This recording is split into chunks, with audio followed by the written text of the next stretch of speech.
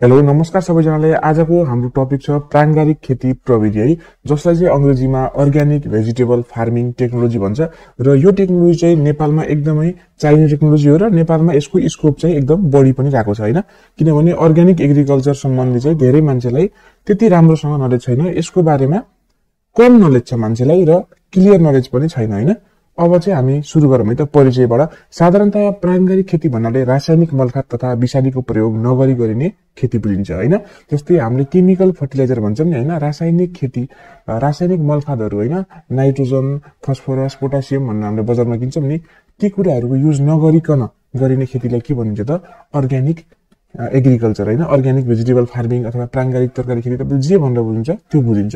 प्राङ्गारिक कृषि भन्नाले कृषि वातावरण तथा मानव स्वास्थ्यमा नकारात्मक प्रभाव पार्ने मल बिउ विषादी सामग्री विधित तथा व्यवहारहरूको प्रयोग नगरिकन स्वास्थ्य सभ्य र स्वच्छ तरिकाले सङ्कलन गरिने कृषि उत्पादन प्रणाली बुझिन्छ।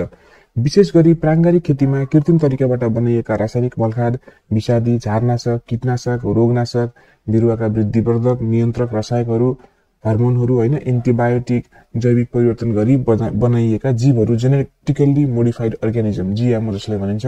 रात्रि मल मानिसको दिशाबाट बनाएको मल आदिको प्रयोग गर्न निषेध गरिएको हुन्छ है त? जस्तै रात्रि मललाई इङ्ग्लिसमा तपाईँहरूले चाहिँ नाइट सोइल भनेर भन्नुभएकोलाई एनआइजिएसटी night S O L soil है? अब छ प्राङ्गारिक खेती प्रविधिलाई विश्वका धेरै राष्ट्रहरूले व्यावहारिक तथा कानुनी रूपमा लागू गर्दै आएका छन्। सन् उन्नाइस सय बहत्तरमा जर्मनीमा स्थापना भएको अन्तर्राष्ट्रिय छाता संगठन international federation of organic agriculture movements आइएफओएएमले प्रतिपादन गरेको प्राङ्गारिक खेतीको धेरैजसो सिद्धान्त र मापदण्डहरू धेरै राष्ट्रले अवलम्बन गर्दै आएका छन्। आइएफओएएमले विश्वका विभिन्न करिब एक सयवटा देशका सात सय पचासवटा भन्दा बढी संस्थाहरू मार्फत आफ्नो प्राङ्गारिक खेती सञ्चालन फैलाएको छ। आइएफओएमले प्राङ्गारिक कृषिको लक्ष्य यस प्रकारले परिभाषित गरेको छ। हेर सुन्नुहोस् है त। प्राङ्गारिक कृषि भनेको यस प्रकारको उत्पादन प्रणाली हो जसले माटो पर्यावरण र मानव स्वास्थ्यलाई निरन्तर रूपमा बचाउँछ। यो प्रणालीमा नकारात्मक असर गर्ने कुराहरूको प्रयोग नगरी प्रकृतिबाट प्राकृतिक तवरबाट जैविक विविधताका तथा स्थानीय स्तरमा रहिरहने चक्र प्रणालीमा आश्रित रहन्छ। प्राङ्गारिक कृषि प्रणालीले परम्परा आविष्कार तथा विज्ञानलाई समेटी स्वच्छ वातावरणको उपभोग तथा समुचित सम्बन्ध राखी सम्बन्धित सबैको उच्च गुणस्तरीय जीवनयापन गर्न सहयोग गर्दछ भन्छ है त?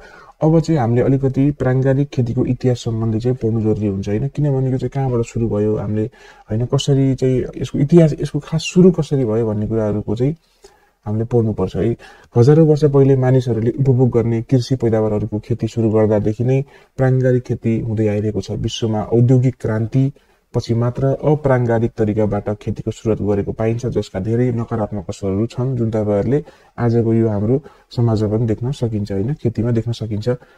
अठारौँ शताब्दीमा कृत्रिम रासायनिक मलखातको उत्पादन गरेको पाइन्छ भने इस्वी सम्बत उन्नाइस सय चालिसमा डिडिडीको डिडिटीको आविष्कारसँगै रासायनिक विषादीको विकास तथा कृत्रिममा कृषिमा प्रयोग भएको पाइन्छ होइन? इस्वी सम्म तपाईँ उन्नाइस सय बिसमा मध्य युरोपमा रुडल्फ स्टेनर होइन? रुडल्फ स्टेनरले गरेको प्राङ्गारिक क्रान्ति जसले बायोडाइनामिक कृषि एग्रिकल्चरको प्रतिपादन गरेका थिए जुन प्राङ्गारिक कृषिको पहिलो संस्करण मानिन्छ होइन? फर्स्ट इतिहास चाहिँ कहाँबाट सुरु गरेछ?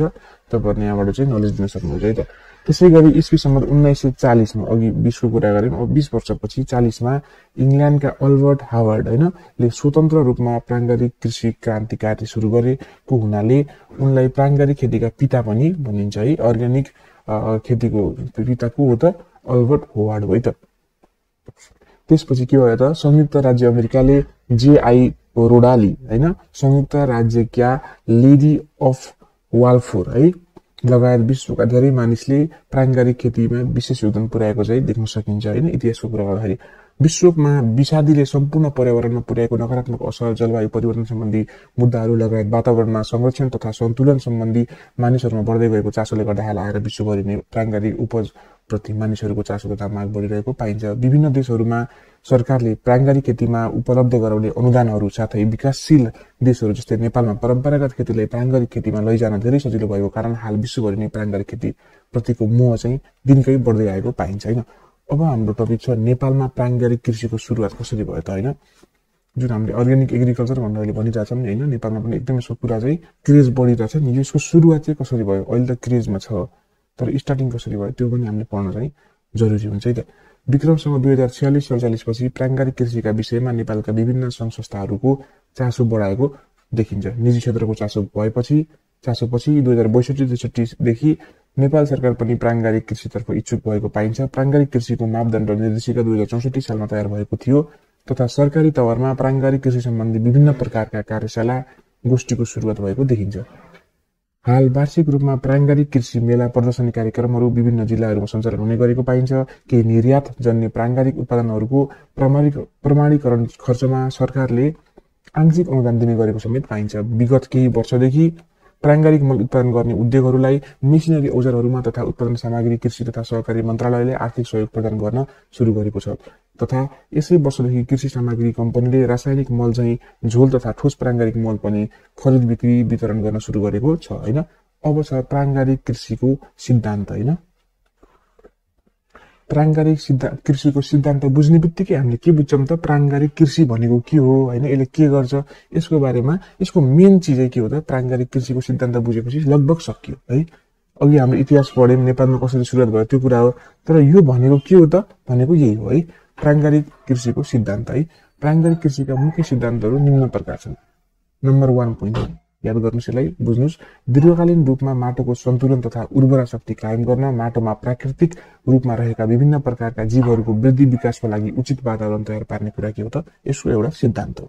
दोस्रो पोइन्टले के भन्छ भनेपछि पर्याप्त मात्रामा उच्च गुणस्तरीय पोषणयुक्त खाना तथा दानाको उपलब्ध बढाउने यसको अर्को सिद्धान्त हो।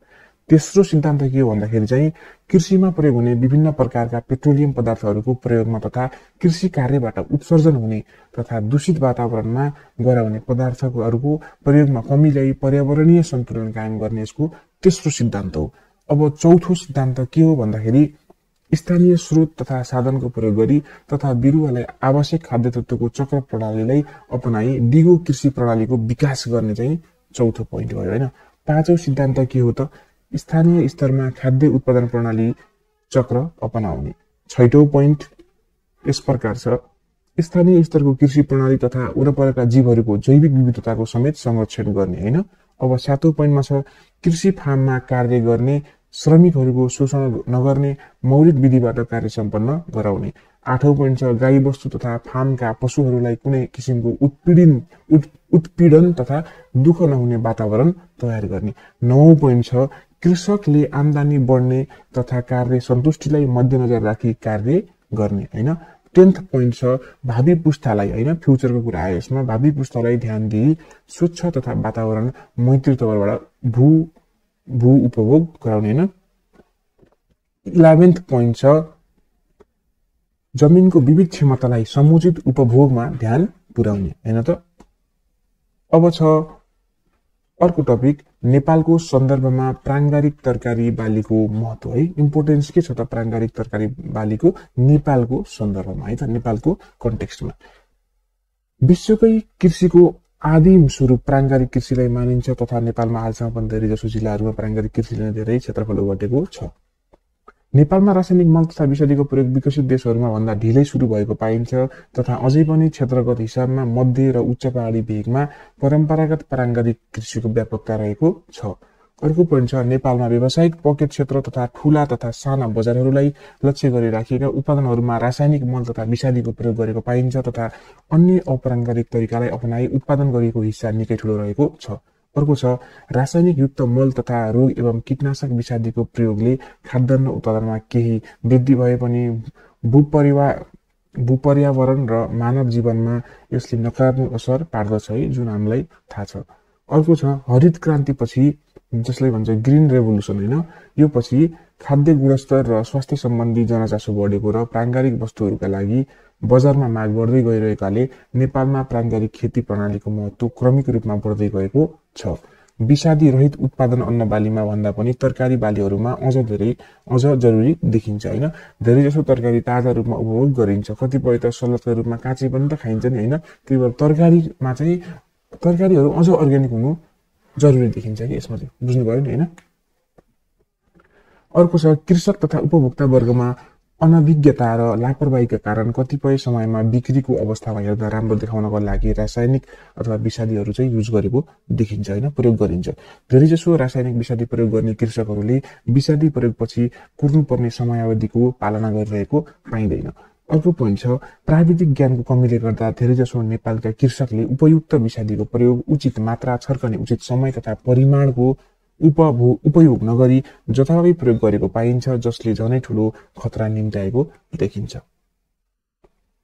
अब हामी पुग्यौँ फाइभ पोइन्ट सिक्स होइन। प्राङ्गारिक कृषिका समस्या र चुनौतीहरू के के छन् त? यसको सिद्धान्त पढ्यौँ यसको इतिहास पढ्यौँ नेपालको कन्टेक्स्टमा चाहिँ यो कसरी सुरुवात भयो त्यो पनि पढ्यौँ होइन तरकारी बालीकैमा चाहिँ अर्ग्यानिक हुनु होइन। प्राङ्गारिक तरकारी उत्पादनको महत्त्व के छ त्यो पनि पढ्यौँ अब चाहिँ हामी के पढ्छौँ भन्दाखेरि चाहिँ प्राङ्गारिक कृषि अर्ग्यानिक एग्रिकल्चरको समस्याहरू के के छन् त चुनौतीहरू के के छन् भन्ने कुराहरू चाहिँ प्रोब्लम्सहरू होइन च्यालेन्जेसहरू चाहिँ अब हामीले पढ्नुपर्छ सुरुमा छ प्राङ्गारिक खेतीका लागि चाहिने आवश्यक उत्पादन प्याकेजको जस्तै प्रविधि मल विषादी आदि उपलब्ध तथा तिनको बारेमा जानकारी निकै कम छ। अर्को पोइन्ट छ प्राङ्गारिक उपज उत्पादन गर्ने कृषकले आफ्नो उत्पादनलाई प्रमाणीकरण गर्न चाहेमा प्रमाणीकरण प्रक्रिया सहज सरल तथा सुलभ छैन। अर्को पोइन्ट छ प्राङ्गारिक उत्पादनको बजार व्यवस्था सहज सरल नभएको तथा उत्पादन लागत अनुसार मूल्य प्राप्त गर्न कठिनाइ छ होइन? अनि अर्को पोइन्ट छ कृषक तथा प्रविधिहरूमा प्राङ्गारिक खेती प्रविधि उत्पादन मापदण्ड तथा बजार सम्बन्धी ज्ञानमा निकै कमी भएको देख्न सकिन्छ। अनि अर्को पोइन्ट छ शुद्ध एवं प्रमाणीकरण योग्य प्राङ्गारिक तरकारी उत्पादन गर्न सघन व्यवस्थापनको आवश्यक पर्दछ। यसका लागि हाम्रा कृषकहरू सक्षम नभइसकेका कारण सरकारी तथा गैर सरकारी क्षेत्रबाट निकै ठुलो सहयोग चाहिन्छ। अर्को पोइन्ट छ वर्तमान प्राङ्गारिक उत्पादन प्याकेज पकेट प्याकेज रणनीति अनुसार नभई यत्रतत्र रूपमा भएकोले भरपर्दो बजार व्यवस्था गर्न नसकिएको होइन। अर्को छ देशमा देखिएका विद्यमान खाद्य असुरक्षाको अवस्थामा प्राङ्गारिक खेतीतर्फ जाँदा निकै ठुलो चुनौतीको सामना गर्नुपर्ने अवस्था छ होइन? अब हामी अर्को टपिकमा पुग्यौँ जुन एकदमै इम्पोर्टेन्ट छ है अझै। किनभने प्राङ्गारिक खेती हामीले धेरै भनिरहेछौँ होइन? प्राङ्गारिक खेती अपनाउँदा चाहिँ ध्यान दिनुपर्ने कुराहरू के के छन्? किनभने यी कुराहरूमा यदि हामीले ध्यान दिएनौँ भने चाहिँ प्राङ्गारिक खेती लगभग असम्भव नै छ अथवा त्यो प्राङ्गारिक खेती चाहिँ मानिँदैन है। यो कुराहरू चाहिँ हामीले ध्यान दिनुपर्छ। प्राङ्गारिक खेती सुरु गर्नु गर्नु भनेको यस्तो प्रक्रिया हो जसमा स्वावलम्बन हेर्नुहोस् है आत्मनिर्भर तथा निरन्तर रूपमा पर्यावरणलाई सन्तुलन राख्दै कृषि विकास गर्नु नै हो होइन? यसका लागि सुरुदेखि अन्तसम्म कार्यान्वयन गर्नुपर्ने केही प्राथमिक बुदाहरू यहाँ प्रस्तुत गरिएको छ। प्राङ्गारिक खेती सुरु गर्दाको समयदेखि प्राङ्गारिक प्रमाणपत्र प्राप्त नगरुन्जेलसम्मको समयावधि अन्तरिम समय हो जुन दुईदेखि तिन वर्षसम्मको हुन्छ। उक्त अन्तरिम समयमा प्राङ्गारिक निरीक्षकले निरीक्षण गरिने गरे तापनि प्राङ्गारिक प्रमाणपत्र भने साधारणतया दिइँदैन। अर्को छ माटोको प्राङ्गारिक पदार्थको मात्रा पाँच प्रतिशत भन्दा बढी पुर्याउन प्राङ्गारिक पदार्थको व्यवस्था राम्ररी गर्ने। यो प्राङ्गारिक पदार्थ भनेको चाहिँ अर्ग्यानिक म्याटर है। अर्ग्यानिक म्याटर बिएसएजी पढेर आउनुभएको हुनसक्छ तपाईँहरू कोही भ्युवर हुनुहुन्छ अथवा एसिएजिजेटी पढेर आउनुभएको सक्नुहुन्छ। त्यसैले त्यहाँ ओएम भनेर पढ्नुभयो होला अर्ग्यानिक म्याटर है। यो प्राङ्गारिक पदार्थको मात्रा जुन तपाईँहरूले पढ्नुभयो नि होइन माटोमा चाहिँ कति पर्सेन्ट के हुनु पर्यो भन्नुहोस् त फाइभ पर्सेन्ट अर्ग्यानिक म्याटर हुनु पर्यो होइन यो कुराहरू तपाईँले पढ्नुभयो नि होइन माटोमा के के हुन्छ भनेर। त्यो कुराहरूमा मध्येको ओयाम भनेको प्राङ्गारिक पदार्थ है।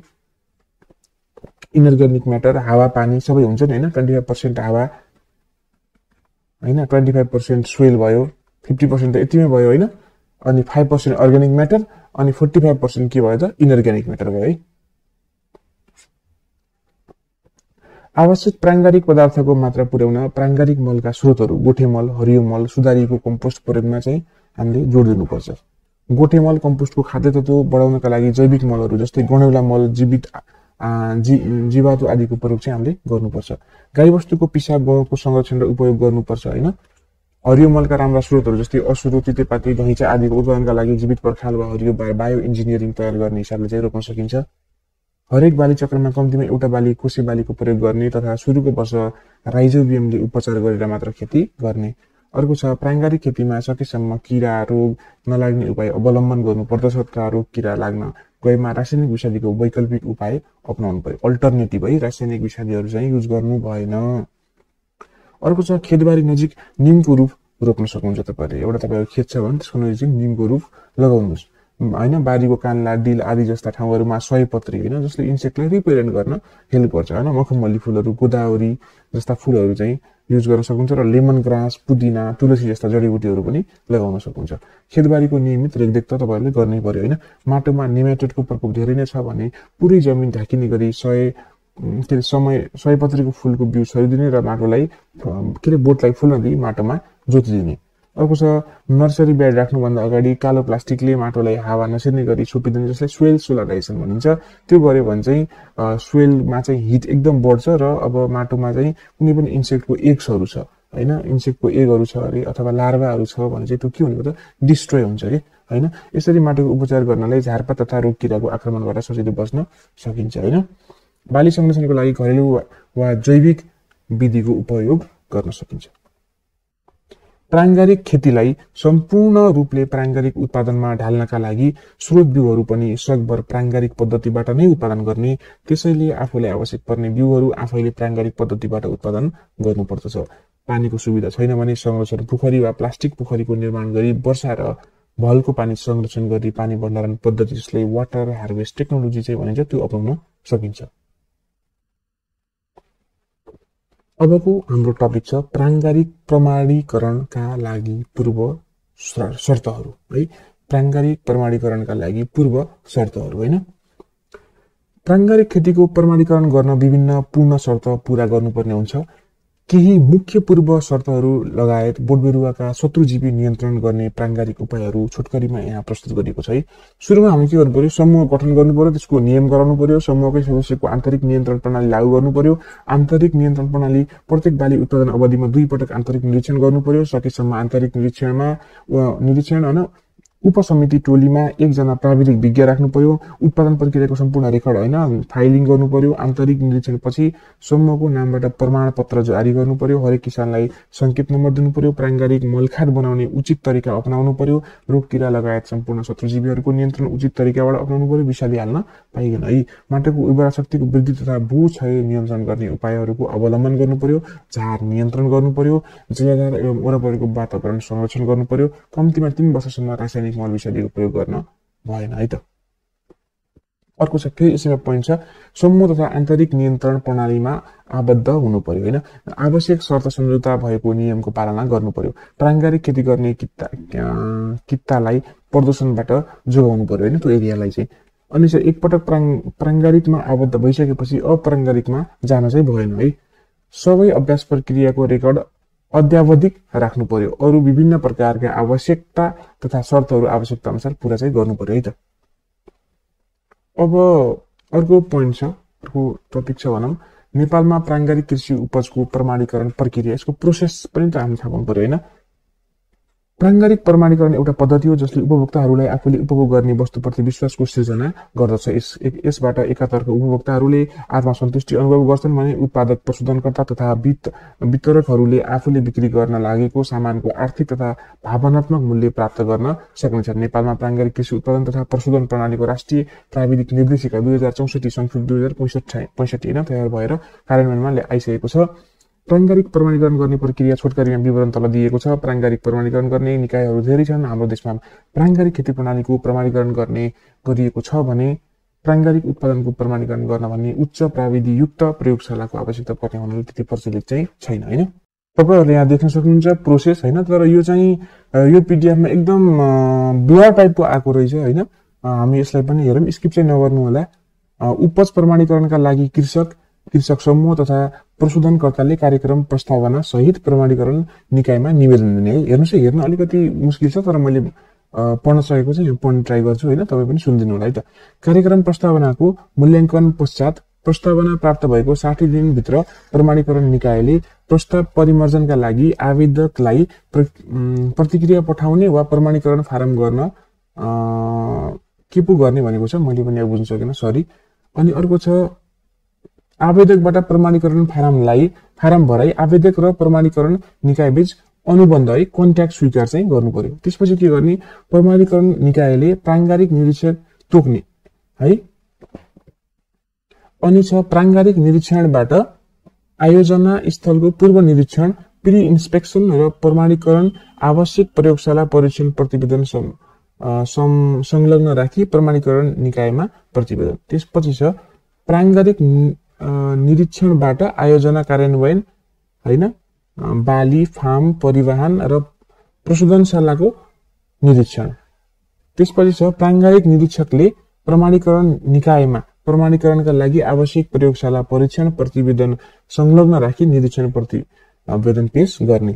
अनि के गर्नु पर्यो त भन्दाखेरि चाहिँ प्रमाणीकरण निकायले निरीक्षण प्रतिवेदन तथा आवश्यक प्रयोगशाला परीक्षण प्रतिवेदन अध्ययन गरी प्राङ्गारिक मापदण्ड पुरा भएको अवस्थामा स्वीकृति गर्ने प्रमाणीकरण निकायले मापदण्ड अनुसार स्वीकृति उपजलाई प्रमाणीकरण गर्ने निर्णय दिने हो नि त।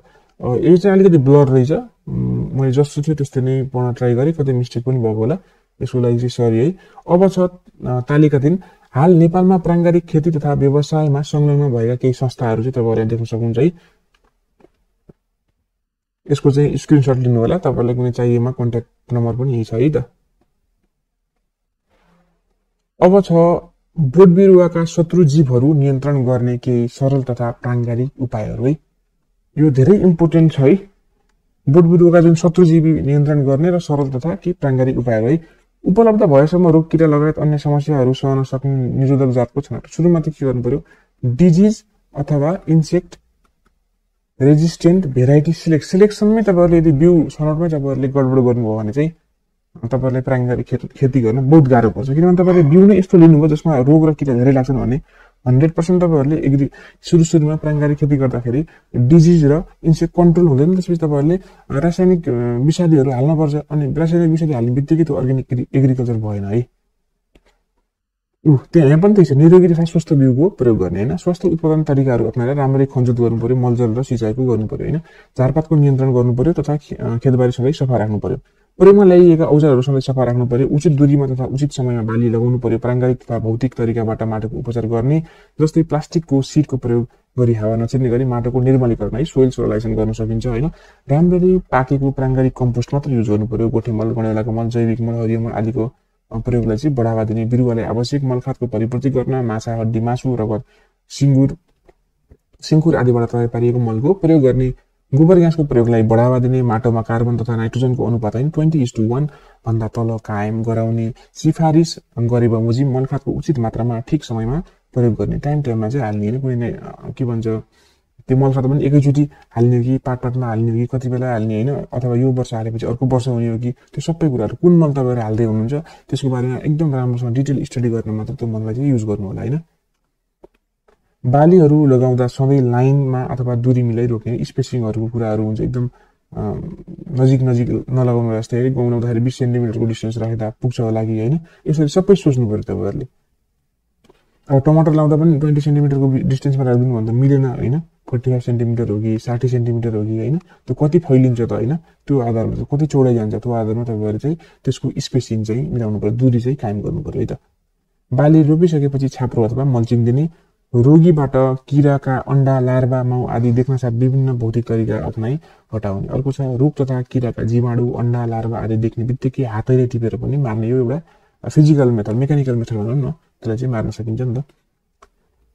राति बत्तीको पासो थापी माउ किराहरू सङ्कलन गर्ने मार्ने तथा अन्य प्रकारका पासोहरू थाप्ने जस्तै किरा समाउने जालीको प्रयोग गरी किराहरूलाई समय मार्ने चरा तथा अन्य किराहरू डराउने वा थपाउने कुराहरू राख्ने फेरोमोन ट्र्यापहरूको प्रयोग गर्ने।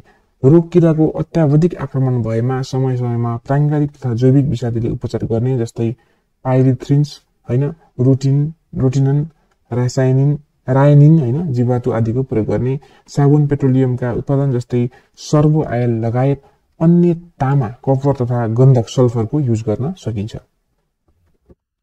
बालीको लाइन तथा ड्याङमा नकुल के भन्छ नकुल्चिनी तथा दुई ड्याङ बिचमा पुलिसोमा बा बसी गोडमेल गर्ने होइन।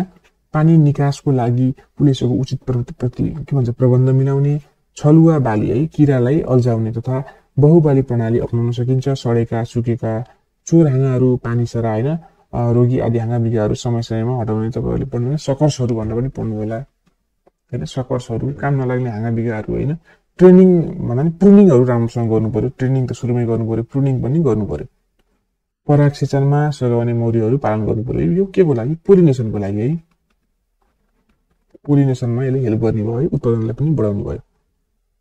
बाली भित्रै सकेपछि प्राप्त नल बोट आदि बालीका अवशेषहरू खेतबारीमै छाडी जोतिदिने घुम्ती बाली प्रणाली अपनाउने रोग किराका तथा अन्य शत्रुजीवीहरूका प्राकृतिक शत्रुहरूको संरक्षण गर्ने जस्तै मुसा नियन्त्रण गर्न बिरालो पाल्ने होइन? तथा लाटोको सेरोको संरक्षण गर्ने।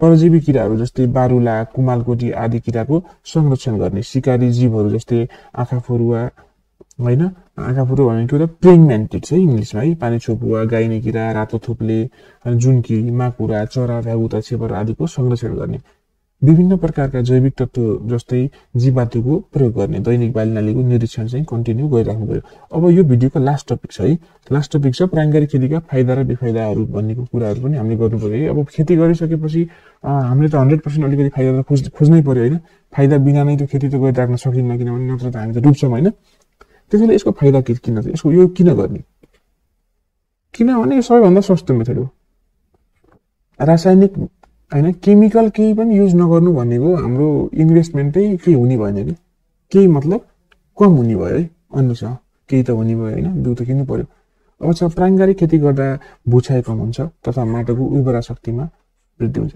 सोइल के हुन्छ सोइलको हेल्थ राम्रो हुन्छ कि? सबभन्दा प्राङ्गारिक खेती भनेको हामीले खाने मात्र होइन माटो नै बच्छ कि होइन? सेभ द सोइल भन्ने अहिले अभियान चलिरह नि। माटो सेभ हुन्छ र सेफ हुन्छ। अर्को छ साधारणतः प्राङ्गारिक खेती गर्दा अन्य तरिकाबाट भन्दा चालिस प्रतिशत भुछाइ कम हुन सक्छ होइन? प्राङ्गारिक खेतीले माटोको अम्लीयपन एसिडिटी तथा क्षारीयपनलाई सन्तुलन गर्नमा बेसिक बेसिसिटी होइन बेस के बेसिक नेचरलाई कम गर्छ मेन्टेन गर्छ। प्राङ्गारिक खेती गर्दा बालीमा पानीको आवश्यकता समेत कम हुन्छ। रासायनिक मलखात तथा विषादीको प्रयोग नहुने भएको हुनाले वातावरणमा कार्बन विसर्जन कम हुनाले जैविक विविधता संरक्षण गर्नमा समेत सहयोग हुन्छ। अन्य तरिकाबाट गरिने खेतीभन्दा खेतीबाट भन्दा प्राङ्गारिक खेतीबाट पचास प्रतिशत खर्च तथा शक्ति कटौती हुन्छ। स्थानीय स्रोत तथा सा साधनको उचित युज हुन्छ युटिलाइजेसन हुन्छ। साधारणतया प्राङ्गारिक खेतीमा बढी जनशक्तिको आवश्यकता पर्ने हुनाले धेरैले जागिर पाउने अवसर पाउँदछन्। प्राङ्गारिक खेतीबाट उच्च गुणस्तरको विषादी रहित बाली प्राप्त हुन्छ। प्राङ्गारिक खेती वातावरण मैत्री हुन्छ होइन? त्यो भएर चाहिँ फाइदा छ। अब बेफाइदाहरू पनि हेरौँ है त। युएन वातावरण कार्यक्रमले सन् दुई हजार आठमा गरेको एक अध्ययन बमोजिम साधारण खेतीभन्दा प्राङ्गारिक खेती बालीहरूले थोरै उत्पादन दिन्छन्। आधुनिक हरित क्रान्ति ल्याउने वैज्ञानिक नोर्मन बोर्लक अनुसार प्राङ्गारिक खेतीले थोरै मात्र मानिसहरूले उपभोग गर्ने अवसर प्रदान गरेको छ। तथा प्राङ्गारिक उत्पादन बढाउन बालीले ढाक्ने क्षेत्रफल बढाउनु पर्ने भएको कारण पर्यावरणमा रास लागेको छ। डेनिस वातावरण संरक्षण संस्था डेनिस इन्भाइरोमेन्टल प्रोटेक्सन एजेन्सीले आलु घाँस तथा चुकन्दरमा गरेको एक अध्ययन बमोजिम उक्त बालीहरू प्राङ्गारिक खेतीबाट उत्पादन गर्दा उही जग्गामा अन्य तरिकाबाट उत्पादन गरेको भन्दा पचास प्रतिशत कम उत्पादन भएको थियो है इलमा पनि घटेछ। अब छ प्राङ्गारिक खेतीले केही मात्रामा कार्बन डाइअक्साइड उत्सर्जन गर्नमा केही सहयोग गरे तापनि विश्व वातावरण वातावरणमा भने खासै सहयोगी सिद्ध भएको चाहिँ छैन। र लास्टमा छ सन् नाइन्टिन नाइन्टी एटमा एक डेनिस संस्थाले प्राङ्गारिक बाली उपयोग गर्नाले यी गोलीको सङ्क्रमण हुने खतरा बढ्ने चाहिँ जनाएको छ। है त। धन्यवाद तपाईँहरूले। आज हामीले चाहिँ प्राङ्गारिक खेतीको सम्बन्धी होइन अर्ग्यानिक एग्रिकल्चर त पनि भेजिटेबल मा चाहिँ कसरी गर्ने होइन किन जरुरी छ यसको महत्त्व इतिहास के हो भनेर चाहिँ यसको बारेमा हामीले चाहिँ राम्रो नलेज लिएको छ जस्तो मलाई लाग्छ।